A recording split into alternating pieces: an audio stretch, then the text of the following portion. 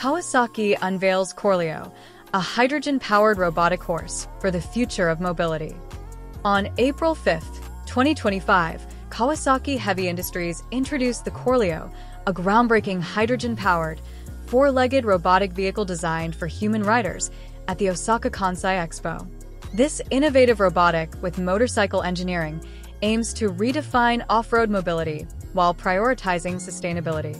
The Corleo is powered by a 150 cubic centimeters 20 horsepower hydrogen engine that generates electricity to drive motors in each of its four legs. Hydrogen is supplied from a rear-mounted canister with a distance projection of 150 miles. Each leg features two separate rubber hooves designed to absorb uneven terrain and provide non-slip stability on surfaces like grass, gravel, and rocky paths.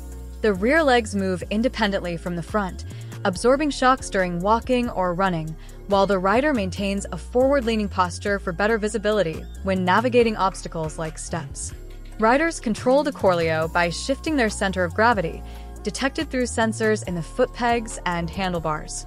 The stirrups are adjustable for optimal positioning, and an onboard display provides real-time navigation and posture feedback, making the ride intuitive and user-friendly. This design not only caters to thrill seekers, but also holds potential for accessibility, offering a new mobility solution for individuals with disabilities.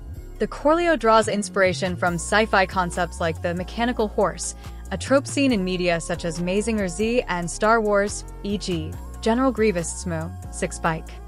However, Kawasaki's creation is grounded in practical innovation aiming to combine the charm of equestrian activities with cutting-edge technology.